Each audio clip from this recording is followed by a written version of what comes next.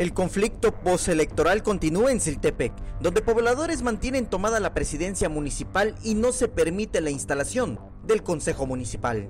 La problemática deriva luego de que la anterior legislatura del Congreso del Estado nombrara consejos municipales en seis municipios, sin la posibilidad de realizar elecciones, pues consideró que no había condiciones políticas ni sociales. El licenciado Andrés Manuel López Obrador ha dicho que debe de haber transparencia y apego a la ley.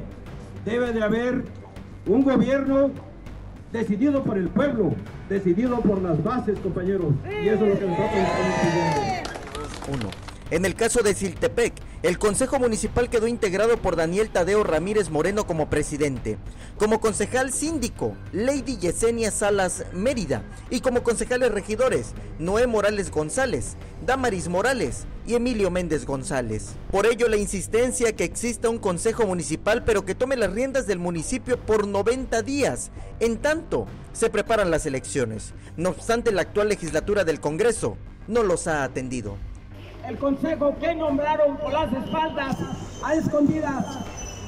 Ahora el pueblo tiene que nombrar su consejo.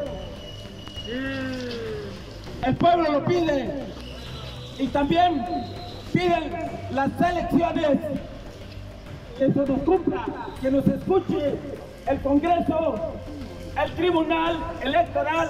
Samuel Revueltas, Alerta Chiapas.